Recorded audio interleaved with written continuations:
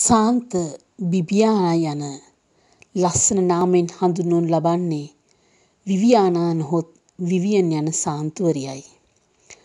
අප කවුරුත් ඇයව හඳුනන්නේ රෝම ප්‍රාණ පරිත්‍යාගී කන්‍යාවක් ලෙසටයි. ඇයගේ නමින් අද රෝම පුරවරයේ විශාල බැසිලිකාවක්ද ගොඩනගා තිබේ. ඇය සතරවන සත වර්ෂයට අයත් රෝම දියණියකි. බිබියානා රෝම අධිරාජ්‍යයේ ඉහළ තනතුරක් හෙබවූ ෆ්ලාවියානුස් සහ දෆ්රස්සා යන අයගේ දියණියයි. ඔවුනට දරුවන් දෙදෙනෙකු විය. බිබියානා සහ දෙමෙත්‍රියා ලෙසට.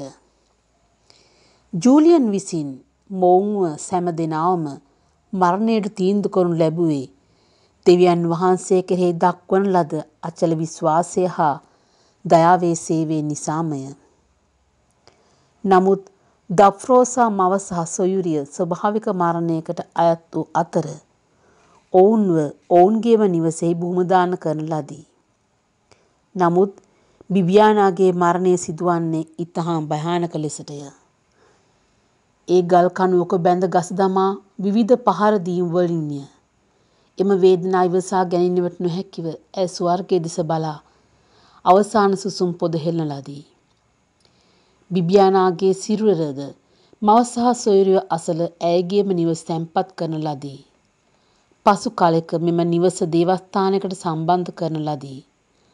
අද එහි විශාල දේවස්ථානයක් ඇයගේ නමින් ගොඩනගා ඇත. ඇයගේ පියාව දේශයෙන් පිටමන් කර තිබේ. ඒ ඔහු නයිට්වරයෙකු වූ බැවිනි. එහිදී තුවාලවල වේදනාව නිසා ඔහු මිය යන ලදී. බිබියානා නිරහාරව දෙවිදුන්ට කන් ලව් කරන අතරම තම දුක වේදනාව තමන්ට හිරිහැර කරන වදකයින් වෙතට සැනසීම ලැබෙන ලෙස දිව්‍යයන් වහන්සේට ඔප්පු කරන ලද බව සඳහන් වේ. බිබියානා තම විශ්වාසය දෙවිඳුන් කෙරේ ප්‍රකාශ කරමින් තම හස්තය දෙවිඳුන්ට බාර කරන ලදී. ඇයගේ මියගේ සිරුර වනසතුන්ට ආහාර පිණිස දෙනු ලැබුවත් කිසිම සතෙකු ඇයට අත නොතබන ලදී. එහිදී ඇයගේ ශුද්ධවන්තභාවය සාන්තුවරභාවය ලොවටම ප්‍රකාශ විය.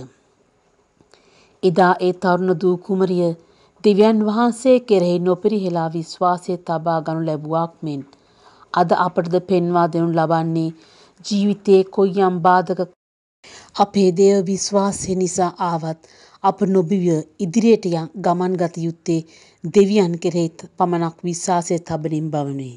එසේනම් අපිත් සාන්ත බිබියානා මෙන් අපේ මුළු ජීවිත කාලයම දෙවියන් වහන්සේට කැප කරමින් උන්වහන්සේගේ විශ්වාසය, දේව කරුණාව, දයාව ලෝ පතල කිරීමට සාක්ෂිකාරයන් වෙන පිණිස අපිත් ඇයගේ මැදිහත්කම ඉල්ලා යාඥා කරමු. ඔබ සැමට ජෙසු පිහිටයි.